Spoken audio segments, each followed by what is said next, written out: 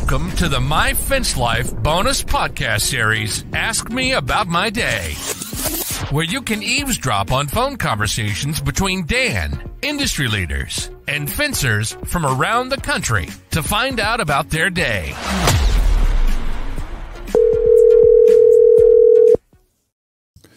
What's happening, fence lifers? We uh, we got an awesome show for y'all today. Um, this is season five. Ask me about my day, number one hundred eight. This is going to be an awesome show. I got a great guest for you today. Um, you know, we're going to be naming this one "Finding the Right Fit." When to hire a business consultant, or when should I hire a business coach? Um, the guy we got on today is pretty awesome, man. Uh, the, he's a he's the CEO and founder of Next Level Solutions.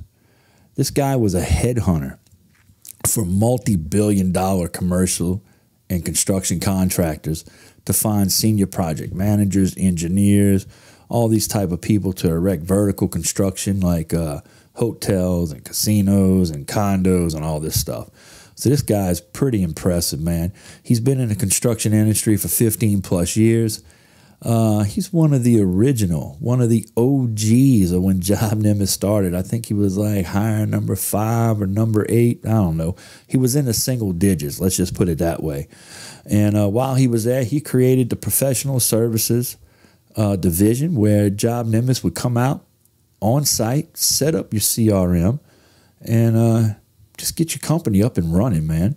And he's uh, he's a pretty impressive guy. Matter of fact, I just thought about this.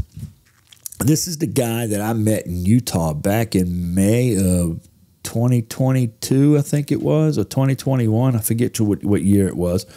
But I met this cat and I needed his contact info and he grabbed his card and he tapped my phone and he's like, check that out. And I was like, whoa, this is badass. And uh, guess what? Because of that, I've circled around. I've met Charlie Chena and he's the owner of One Tap Connect, and now I'm using One Tap Connect. It's crazy how that's that that circle worked, man. But anyway, let's go ahead. We're gonna bring this guy on, Ronnie Smith, Next Level Solutions. How you doing today, Ronnie? I'm doing great, uh, Dan. How are you, bud? I'm doing good, man. It's great to see you, man. Um, dude, I didn't know you were a headhunter you know, yeah, that that's something that uh, that's something that I kind of fell into back in uh, the early 2000s, and uh, it was one of those things to where uh, it was booming. Construction was booming, um, and and people were were needing to hire people, didn't know where to find them, and uh, we went after those people, man, and we would recruit them and hire them and and place them into to really large uh, commercial construction companies and uh, it was a lot of fun, man. A lot of blast. Yeah, man. When I heard you were a headhunter, I just automatically got a picture of you like wearing a loincloth and a spear with this guy's head on it. I was like, man, Ronnie, Ronnie's badass. I'm not screwing around with this guy. uh, that's funny. anyway, man. So look, the reason why I brought you on is because you do business consulting, you do business coaching, and I've had guys in my inbox saying, hey, man, I don't know if I need a business coach. You know, I hear you talk about consulting Ron on your show and this and that. And, and do I need a coach? I, I don't know when. So I got to pondering about that. And you and I have been going back and forth on a Google Doc. And we've got some pretty good questions that, that as business owners, we need to ask ourselves hey, what are the answers to these questions? Because if I'm answering them one way, I should probably look and getting a consultant or a business coach, right? And uh, what I really, really like about you uniquely as being a business coach is your ties with Job Nimbus and how you can take existing customers and new customers and mm-hmm. literally coach them and help them build out their Job Nimbus. So it's like a win-win when it comes to next level solutions. You know I, that that that's so true, and and the people that um, that I have on my team uh, also um, kind of was uh, job nimbus in the early stages, and uh, and so they have a good understanding of not just not just the systems itself, but they also have a good understanding of business and understanding the the processes and the streamlining the companies, and and then building the systems out that will meet uh, meet their needs. A lot of times, we have found that uh, people that are looking for like a software or system to run their business, they have to kind of like uh, manipulate it to work. So we're able to take the software and put it inside of their business instead of their business having to conform to the software. And so that way uh, we can use terminologies that uh, that they know and that they understand, and and the flexibility and the way that Job Nimbus is able to uh, to be able to be customized and built out is pretty awesome. Well, yeah, and plus you've been in construction 15 plus years. You're now uh, head first in the roofing business. Um, I think uh, you were hired on to literally just plant your feet into a, a, company down in is it Dallas or Houston? Where are you? Uh, we're down in the uh, Houston area. So so yeah. So um, they're uh, elder, they're looking to grow, man. They're wanting to expand, and uh, so uh, come and plant my feet there and be able to help them to make sure that the foundation of the company can can really survive in that type of growth uh, as you're developing and adding on, you know, adding on other locations and stuff like that to have a steady growth. Well, look, man, let's dive into it. These uh, ask me yeah. about your days. I try to keep them a little short, but uh, if we don't cover everything, maybe I'll have you back next week and we can do uh, continue on. But hopefully, we'll get through it all. Um, all right. Say, guys, first question: Are we struggling to acquire new customers or generate leads? I think that would be a really good question to ask yourself, and to see if you need a, a business coach. W- would you agree? I, I, do I do agree, and you know I think and it almost it doesn't matter what industry it is, and it really it, it really is determined based on where people are at in in their business, right? Um, when you're a smaller company and you're getting ready to develop a company, that's one of the biggest struggles that people face is like where do I get leads? Where do I where do I find them? How do I get the revenue to uh, get kickstarted to where you can start growing? And um, it's extremely important to um, understand uh, your circle of influence. Uh, when people ask, "Well, how do where do I even start?" You start with the circle of influence to to begin to uh, reach out and develop um, strategically looking at uh, avenues for leads and stuff like that. But I'll just tell you, uh, Dan, it's been my experience that when you get started, um, if the more that people can focus on the referral base and, and and shooting content, shooting videos, and and putting being able to post up on their social media platforms and stuff like that, um, it just begins to start trickling in over a period of time. But it it, it does take time to get that that moving. Well, I find that a business coach, man, and, or a consultant, whatever you want to call it, they, they kind of have an expertise in marketing and sales strategies. You know, they can help yeah. you. They can help you identify target markets, improve lead generation uh, techniques. I know, I know. I've got consultant Ron working for me, man, and, and he's brought some things to the surface that uh, that have helped me implement, you know, effective marketing campaigns to, to drive my business growth it is extremely important. You know when you have a when you have a coach or you have a consultant coming in um, you're getting an outside perspective. And so you know when you're a business owner you're so focused on just trying to figure it out.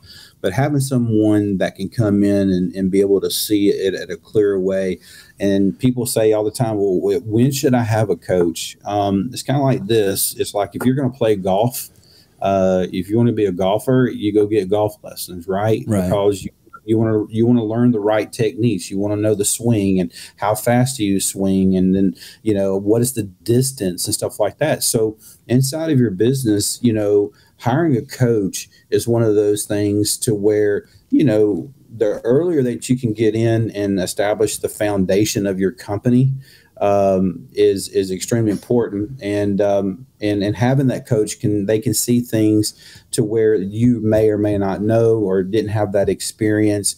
Um, but pulling someone with knowledge and understanding and really cares about your business is it's so important, Dan, that when you're hiring a coach, is that you're hiring someone that is is catching your vision, understanding where you're wanting to go, and then build that process out that will allow you to get there. That's a great point, man.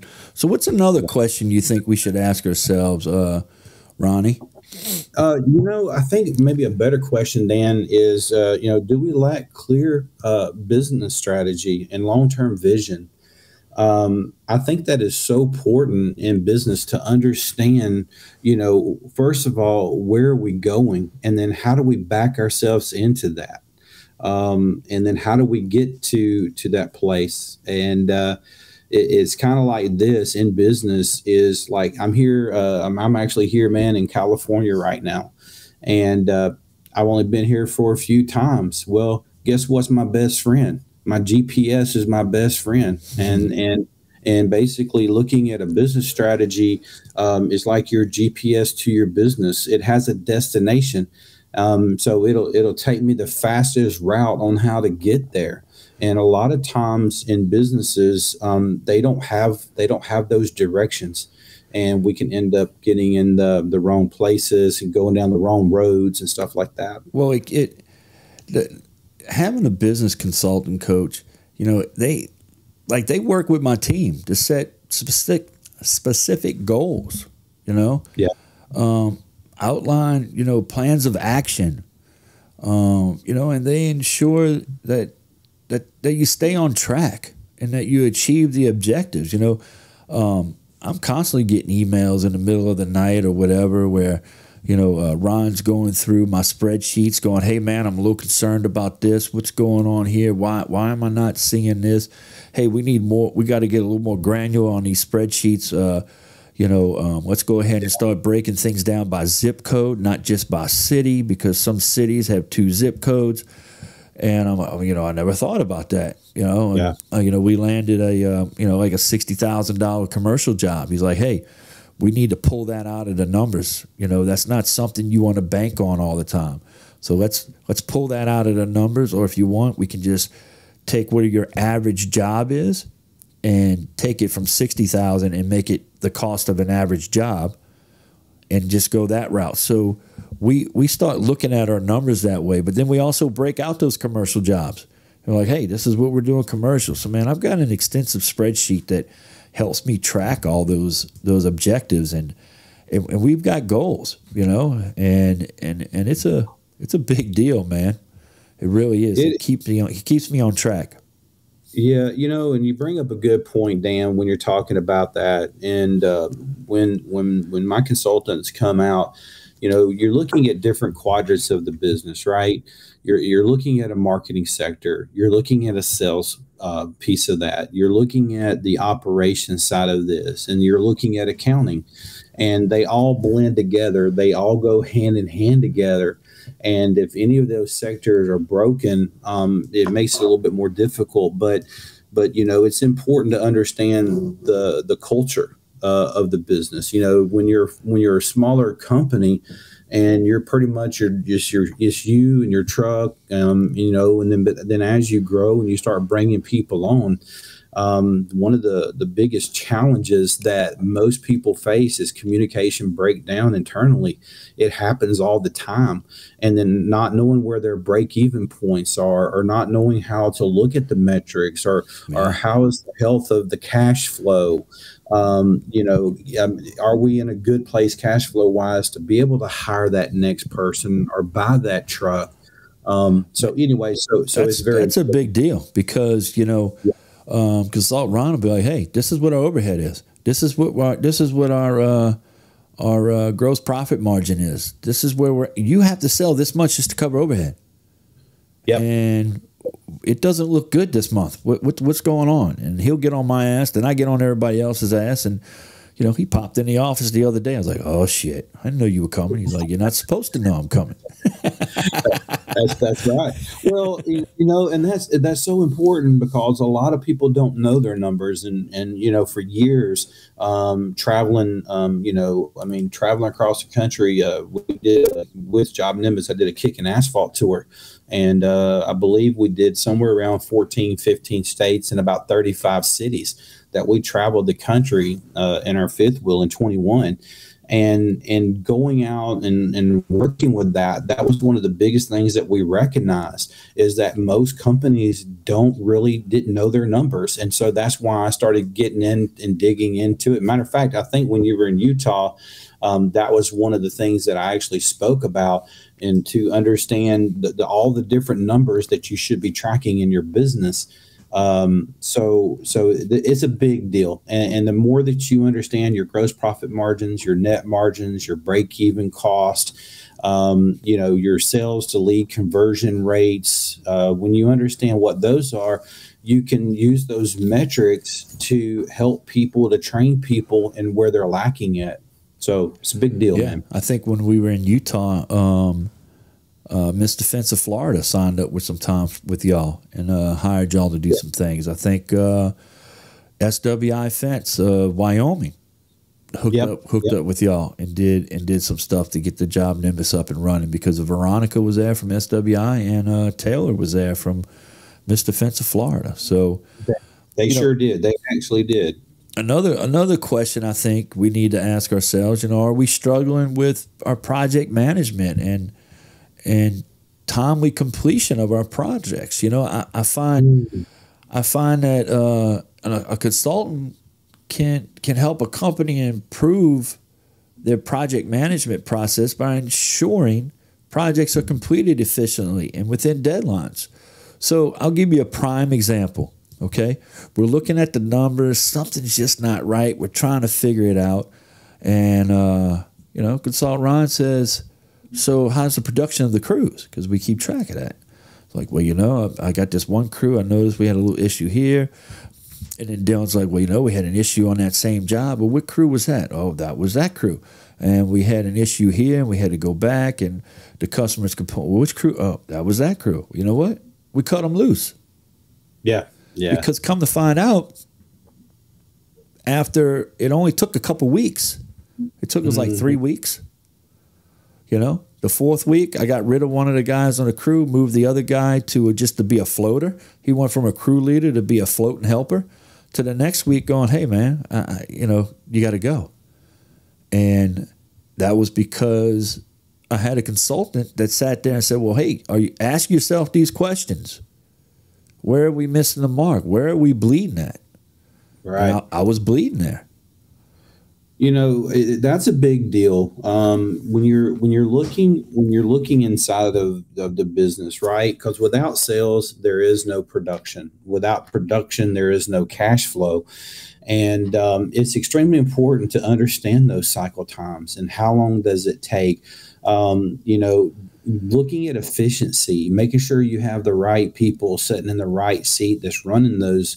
Um, even you know, even in the fencing world or roofing world, you're still ordering materials. Those materials are still being picked up, and um, you know getting to the job site not having not having everything that you needed because you were uh, whether you're six posts short or mm-hmm. whether there wasn't whether there wasn't enough cedar pit you know uh, far as the cedar pickets or if there wasn't if you're doing um, you know a chain link fence and and not having the materials and it, that's a big deal because what people don't realize that if you don't have the right things when you get there and being able to develop systems to where when you do get there that you're checking the material before you start it is so much easier to uh, to be able to define that in the beginning instead of waiting until the end of the day and now you just lose a half a day of production because you didn't have enough and now you got to send the crew back out there to right. go finish it now it's a little bit different, I guess, because in the fencing workers you got to let you know you got to let things set and settle before you can do certain things. But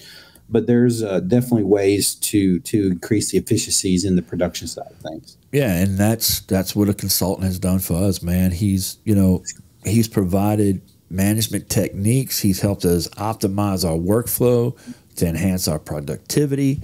Um, yeah. He's given us project management tools, given us all this stuff. And look, I've been doing this. This is my 24th year.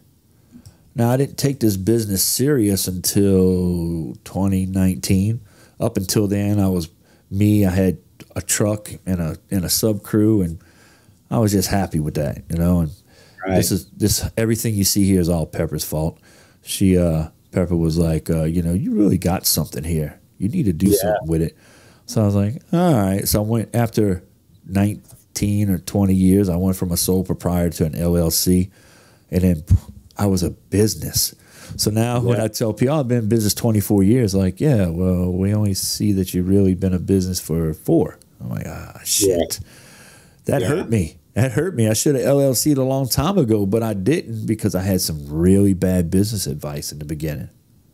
You know, and, and I know that's not on our questions, but I'm gonna tell you what, that's extremely important, you know, because a lot of times people don't really understand, well, should I be an LLC with limited liability? Should I be an S corporation? Should I be a C corporation? Can I do a DBA?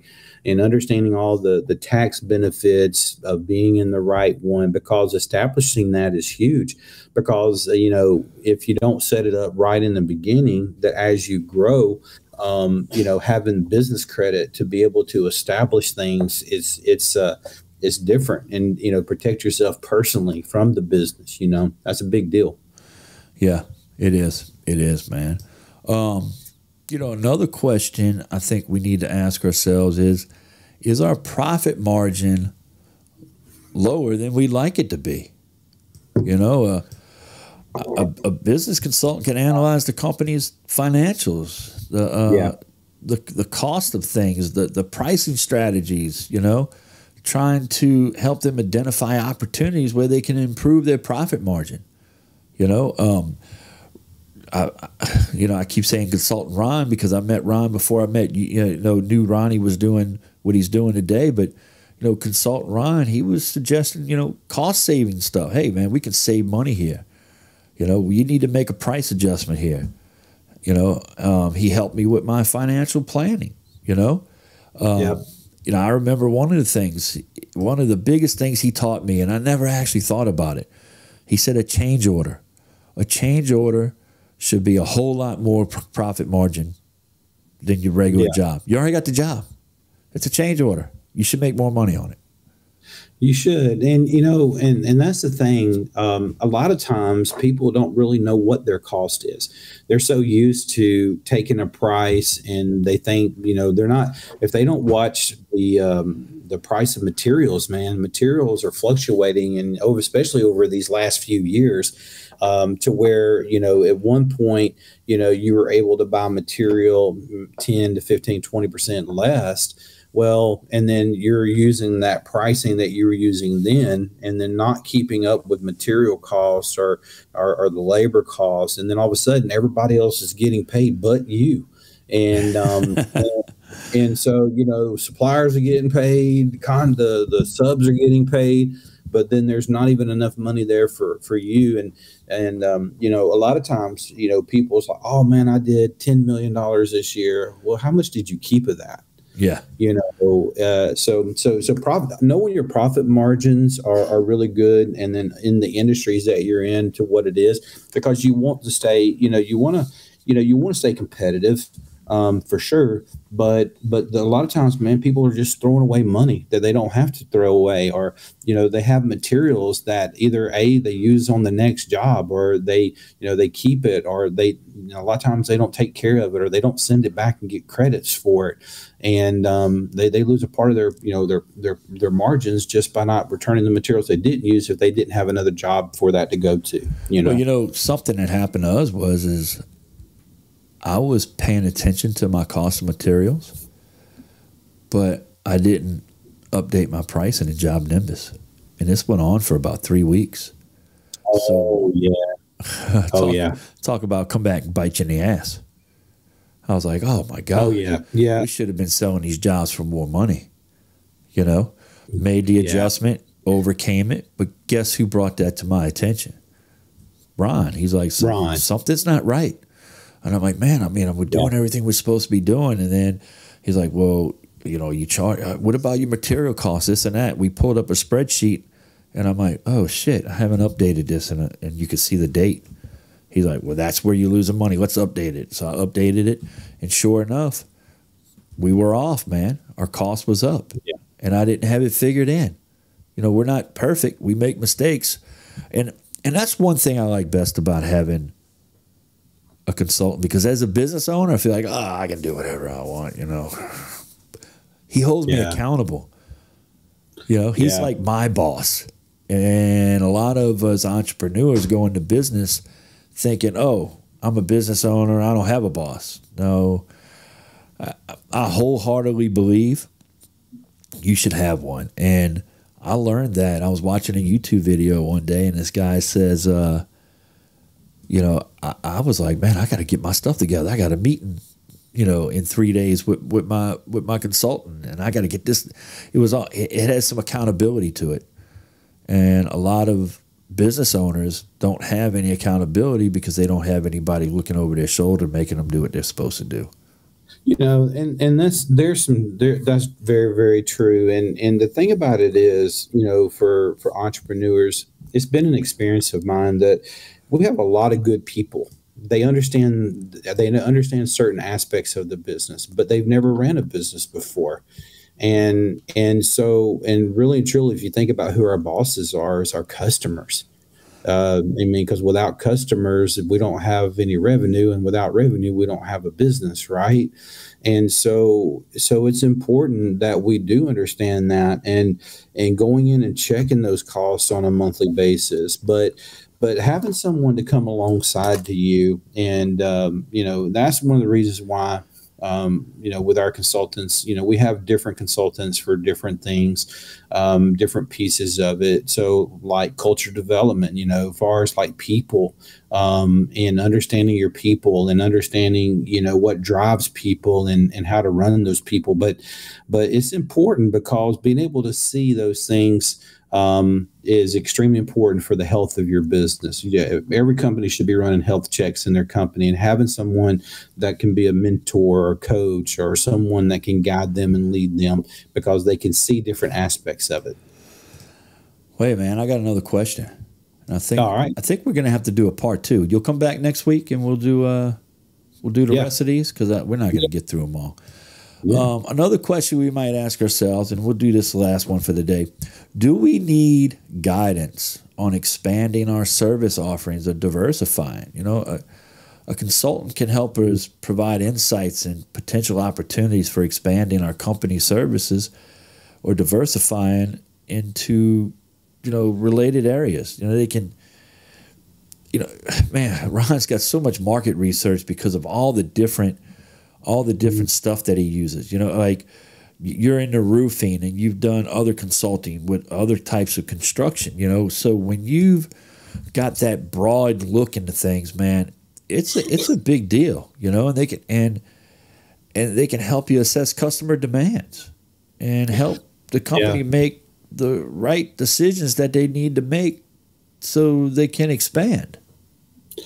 Yeah, and then you know, uh, too, it, you know, when you're expanding your business, you know, there again, that's being able to look with inside the business to make sure that expanding it is the right move.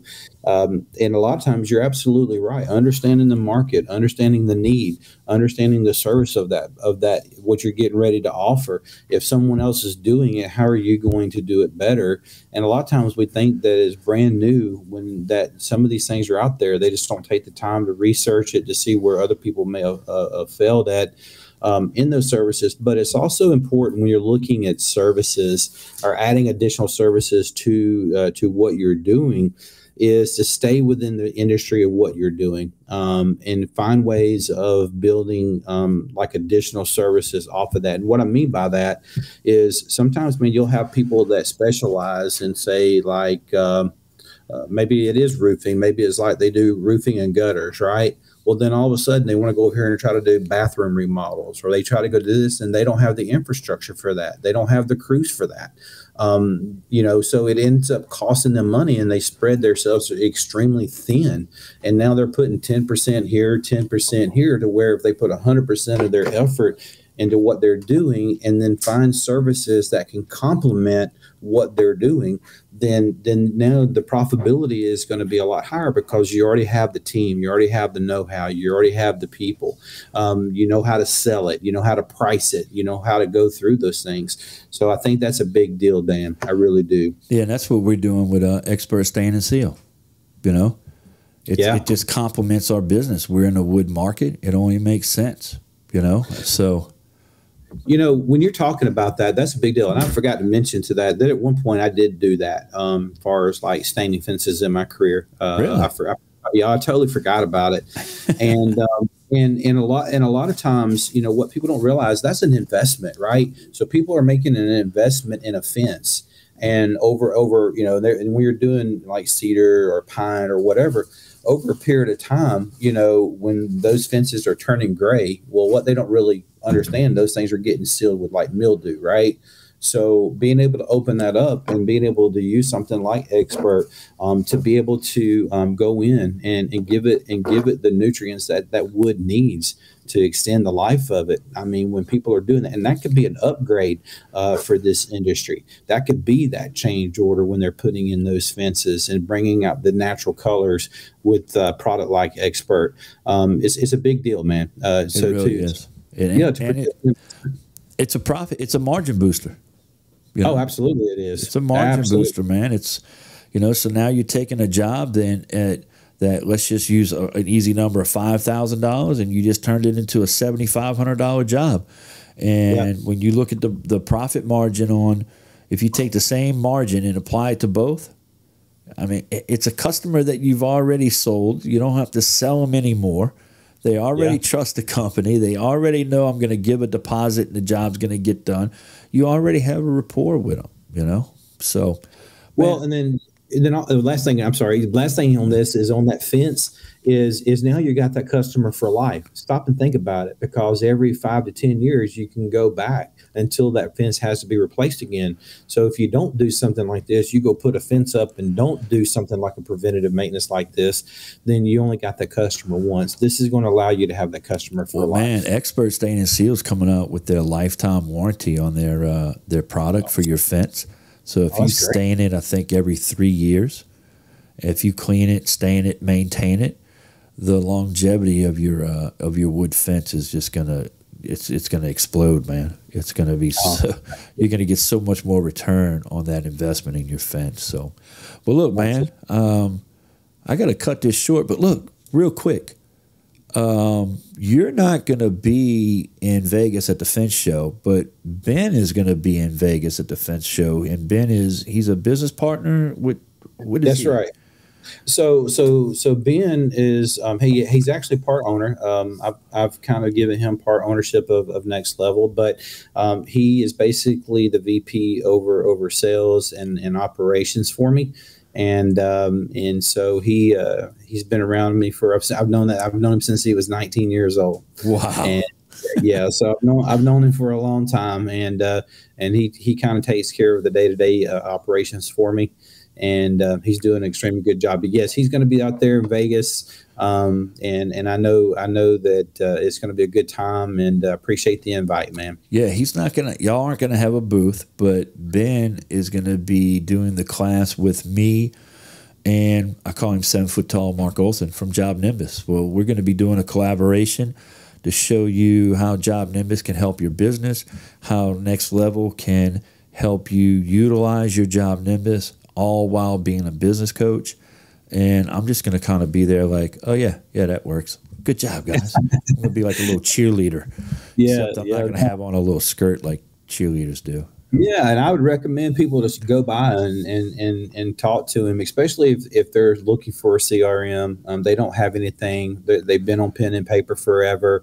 Uh, their business is growing. It's just not scalable. Or if they're existing to Job Nimbus and been using it for a long time, um, we can definitely uh, lead them and guide them in the right directions. Yeah, Ben helped me with some automations the other day, and I'm like Oh, known as the automation guy, and I'm like, dude, I cannot figure this out. And it took Ben about five minutes of playing with it. He's like, wait, you got to do this? Said, "Wait, No, no, no, no. You got to do this. There you go, and boom, and I've been using it ever since. I was like, Oh, that's "Man." awesome. Yeah, yeah, he's been a great help. Well, look, Ronnie, it was great having you, man, and uh, we we're gonna come next week. We got a few more questions on our uh, on our sheet here that we need to talk about, and uh, we'll see you next week, man. So, hey guys, y'all keep on fencing. Been listening to My Fence Life. Yes, we like to have fun. Beer, bourbon, and business. And although we have fun, we take our business very seriously. Dan Blanc is known as the Fence King, and he's been providing high quality fence solutions since 1999. He's connected to industry leaders, business leaders, financing experts, and marketing gurus that will be on the show to talk about their success stories. To find out more about us, hit the website at myfencelife.com. Listen to the show wherever you consume your content. We are everywhere Apple, Spotify, and Google Podcast. See you next time on My Fence Life.